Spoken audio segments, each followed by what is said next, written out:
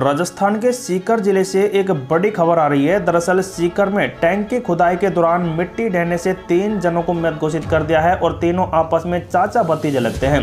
करीब 20 फीट गहरे गड्ढे में दबे शव को जेसीबी की मदद से बाहर निकाला गया और यह घटना सुबह 11 बजे दंतारामगढ़ के राजनपुरा गाँव की है। तीनों का शव को दंतारामगढ़ के सीएससी में रखवाया गया है। डिप्टी एसपी जाकिर अख्तर ने बताया कि मृतक तीनों आपस में चाचा भतीजे लगते हैं और मामले की रिपोर्ट के आधार पर आगे की कार्रवाई की जा रही है। सरपंच प्रतिनिधि श्रवण कुमार ने बताया कि राजनपुरा गाँव के रहने वाले किशन सिंह चालीस वर्षीय, भतीजे राहुल सोलह वर्षीय और विक्की उर्फ़ विकास पंद्रह वर्षीय मिट्टी में बदने की वजह से मृत घोषित किया है। गाँव में ईश्वर बोर्डक के खेत में बने मकान में एक पानी के होद के लिए वहाँ पर खुदाई चल रही थी और खुदाई किशन सिंह और उनका बड़ा भाई राम सिंह कर रहा था।